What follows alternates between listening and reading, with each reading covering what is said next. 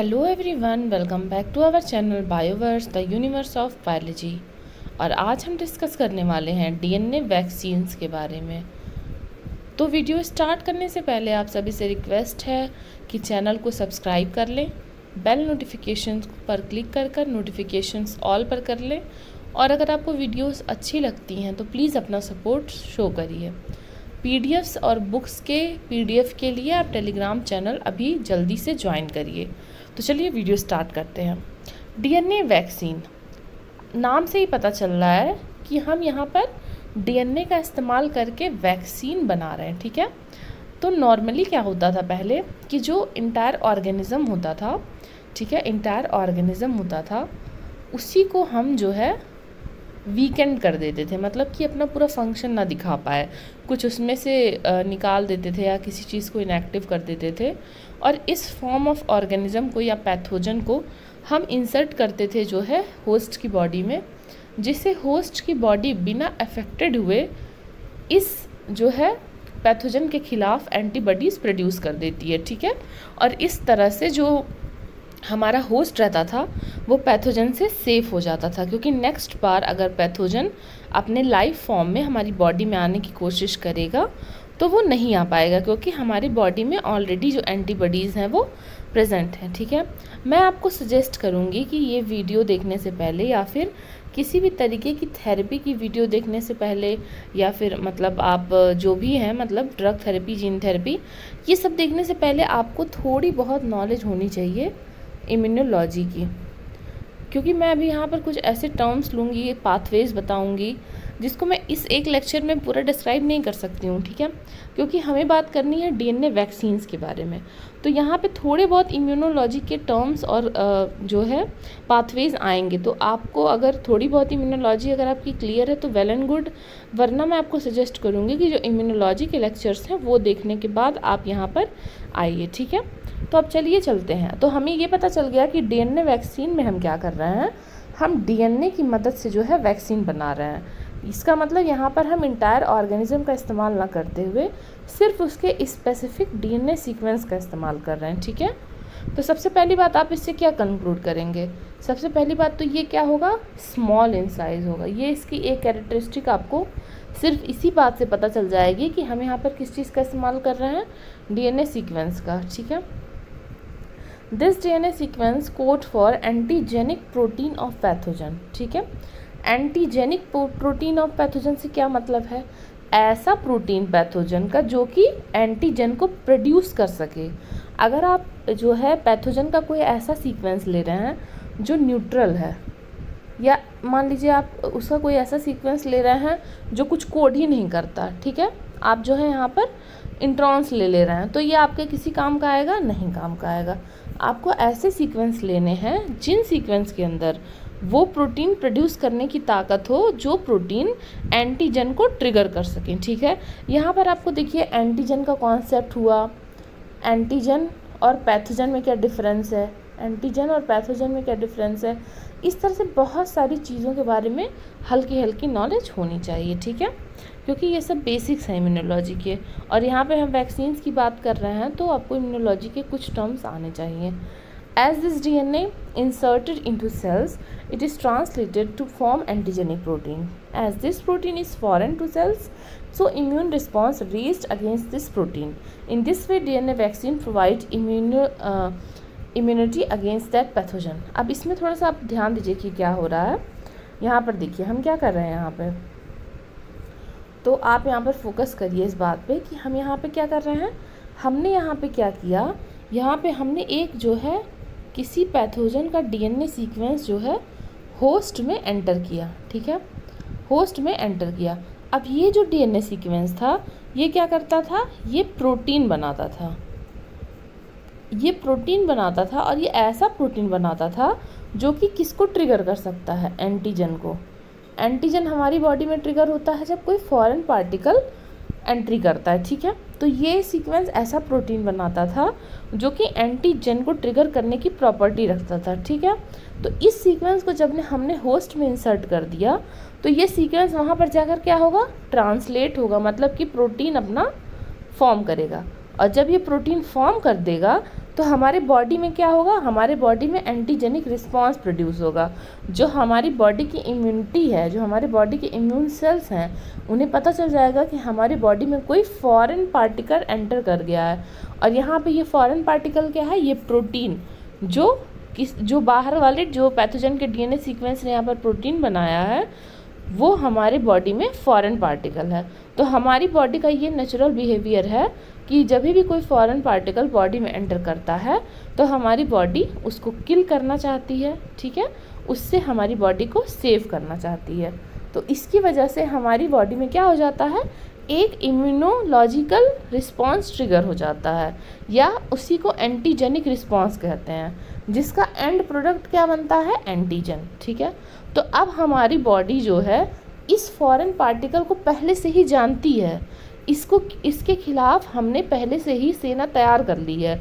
तो अगर अगली बार ये पैथोजन अपने लाइव फॉर्म में आता है, ठीक है? ये पैथोजन अपने लाइव फॉर्म में आता है तो आपके पास इससे इम्यूनिटी पहले से ही है, ठीक है ना? आपके पास इससे इम्यूनिटी पहले से ही है। तो ये, इसकी वजह से आप इस पैथोजन से क्या होंगे? सेव हो जाएँगे।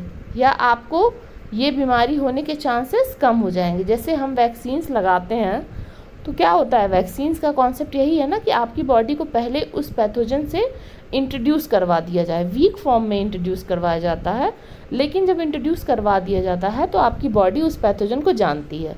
अगर आप थोड़ी भी इम्यूनोलॉजी जानते हैं तो आप ये बात जानते होंगे कि जो फ़र्स्ट एनकाउंटर होता है, जो फ़र्स्ट एनकाउंटर पे जो बॉडी रिस्पॉन्स देती है, वो कैसा रिस्पॉन्स देती है? वीक रिस्पॉन्स देती है।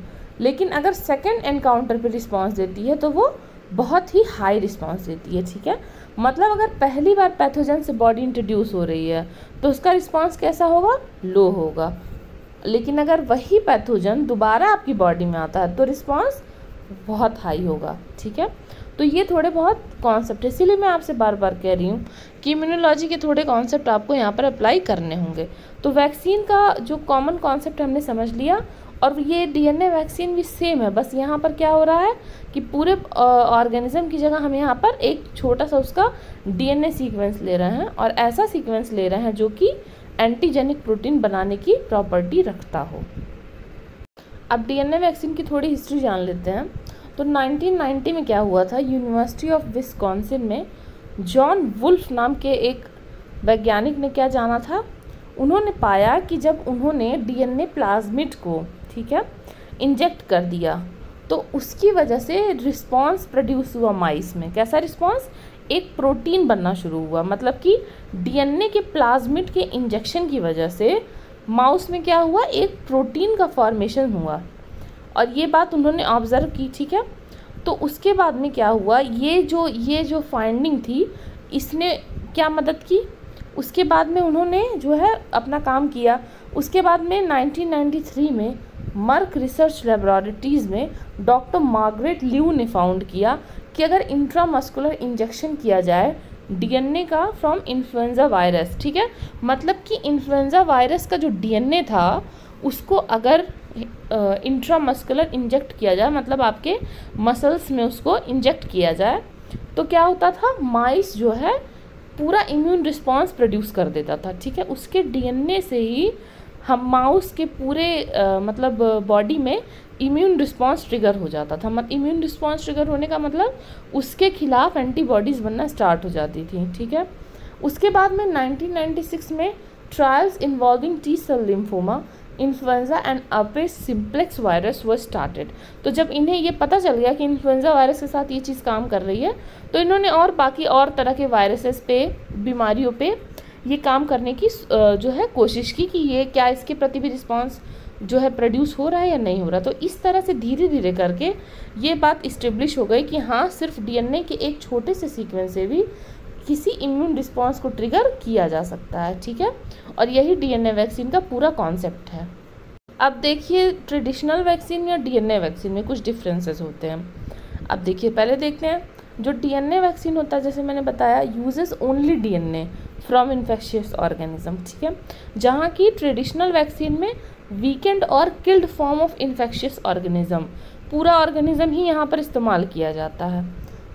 DNA vaccine avoids the risk of using actual infectious organism traditional vaccine create possible risk of the vaccine being fatal क्योंकि हम यहाँ पर पूरा ऑर्गेनिज्म ही एंटर कर रहे हैं तो यहाँ पे चांस है कि वो ऑर्गेनिज्म जो है, आप वीक जो है भले उसको वीक एंटर कर रहे हैं या फिर नॉन इन्फेक्शियस एंटर कर रहे हैं, लेकिन यहाँ पे एक पॉसिबिलिटी है कि किसी भी प्रकार की अच्छी कंडीशन में वो जो है फैटल हो सकता है। मतलब वो ऑर्गेनिज्म अपने आप को मज़बूत कर सकता है और रिस्पॉन्स दे सकता है बॉडी में, या बॉडी को इन्फेक्ट कर सकता है, ठीक है? कोई भी म्यूटेशन क्योंकि उसके पास सारे जो चीज़ें हैं इन्फेक्शन कॉज करने के लिए, वो उसके बॉडी में प्रेजेंट हैं, ठीक है ना? बस वो वीकेंड फॉर्म में है, जबकि डीएनए वाले में क्या हो रहा है? डीएनए वाले में पॉसिबल ही नहीं है, क्योंकि सिर्फ़ एक डीएनए से वो इन्फेक्शन कॉज नहीं कर सकता, उसको बाकी और भी चीज़ें चाहिए। Provides both humoral and cell mediated immunity तो जो डीएनए वाला होता है वैक्सीन वो दोनों तरह की इम्यूनिटी प्रोवाइड करता है। ह्यूमरल भी सेल मीडिएटेड भी। ह्यूमरल मतलब कि यहाँ पर बी लिम्फोसाइट एट वर्क है सेल मीडिएटेड मतलब यहाँ पर टी लिम्फोसाइट एट वर्क है। ठीक है? और ये क्या करता है? ये सिर्फ़ ह्यूमरल इम्यूनिटी प्रोवाइड करता है, सिर्फ़ ह्यूमरल इम्यूनिटी रेफ्रिजरेशन जो है डीएनए वैक्सीन्स का नहीं ज़रूरी है। हमें पता है क्योंकि यहाँ पे ऑर्गेनिज्म नहीं है, यहाँ पर ऑर्गेनिज्म है, इस वजह से रेफ्रिजरेशन भी ज़रूरी है। तो कुछ बेसिक डिफरेंसेस हो गए दोनों तरह के वैक्सीन्स में। डीएनए वैक्सीन प्रोड्यूस किस तरह से किया जाता है? यहाँ पर देखिए, एक वायरल जीन को लिया गया है, ठीक है? वायरल डीएनए सीक्वेंस ऐसा कोई सीक्वेंस जो पैथोजन का है और ये एंटीजेनिक प्रोटीन कॉज कर सकता है, ठीक है? उसके बाद में एक प्लाज्मिड लिया गया। प्लाज्मिड लिया गया प्लाज्मिड वेक्टर लिया गया। इन दोनों को क्या कराया गया? इन दोनों को रिकम्बाइन कर दिया गया with the help of recombinant DNA technology और ये जो हम पढ़ रहे हैं डीएनए वैक्सीन्स ये हम एप्लीकेशंस ऑफ़ बायोटेक्नोलॉजी वाले यूनिट के अंदर ही पढ़ रहे हैं। तो यहाँ पर पूरा जो रोल है वो आर टेक्नोलॉजी का, ठीक है? अब यहाँ पर रिकम्बिनेशन की वजह से प्लाज्मिड जो है, ये फॉरेन जीन को कंटेन करता है। अब जब इस प्लाज्मिड को हम एंटर कर देंगे बैक्टीरिया में तो वहाँ पर इसकी मल्टीपल कॉपीज़ जो हैं, वो प्रोड्यूस हो जाएँगी। और उसके बाद में हम इसको जो है, ऑप्टेन कर लेंगे और फिर उसके बाद में इंजेक्ट करेंगे होस्ट के अंदर और इसको इस्तेमाल में लाएँगे। तो यहाँ पर मेजर रोल है रिकम्बिनेंट डीएनए टेक्नोलॉजी का। देखिए, जैसे मैंने बताया कि जब प्लाज्मिड जो है, फॉरेन डीएनए के साथ इंटीग्रेटेड हो गया है उसको हम बैक्टीरिया में डालेंगे तो यहाँ पर एम्प्लीफिकेशन हो जाएगा। मतलब हाई अमाउंट में सेम जीन जो है आपकी प्रोड्यूस हो जाएगी। इसके बाद हम इसको ऑप्टेन कर लेंगे और ऑप्टेन करने के बाद हम होस्ट में इसको इंसर्ट कर देंगे। बैक्टीरिया में एम्पलीफाई करने के पास आपके पास ये हाई अमाउंट में प्लाज्मिड डीएनए मिल जाएगा प्यूरिफाई कर लेंगे इसको और उसके बाद ये रेडी टू यूज़ हो जाएगा। तो डीएनए वैक्सीन का क्या एडवांटेज है? ह्यूमरल और सेल मीडिएटेड इम्यूनिटी प्रोवाइड करता है।